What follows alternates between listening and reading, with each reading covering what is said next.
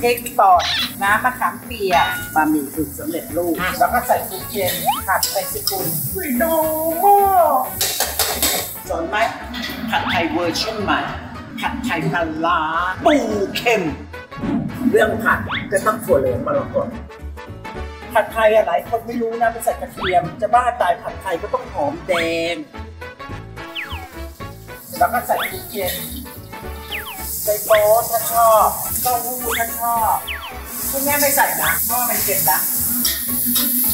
ผัดไปจนกระทั่งเนี่ยปรุงเป็นสุก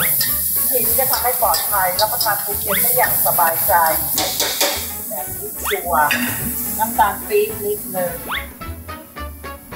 ถ้าใส่ซอสหลายๆซอสเนี่ยกลิ่นผัดไทยเสียผงชูรสติดปลายช้อนจิตเดียว ใช้ถูกวิธีไม่อันตรายนะ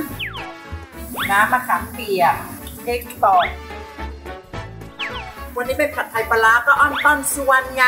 ฝาเขียวโหนงโหนงไม่ใช่น้ำปลา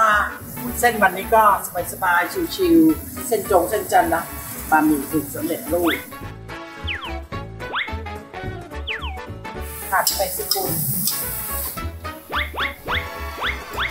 หอมเชียว หยอดน้ำมันเป็นจิ๊กหนึ่งข้างๆกระทะเลี้ยงไว้ ใส่ไข่ไปฟองหนึ่งพอไข่อยู่ข้างนี้ใช่ไหมโรยผัดไข่มาเป่าโมกอยู่ในนี้อุ้ยดู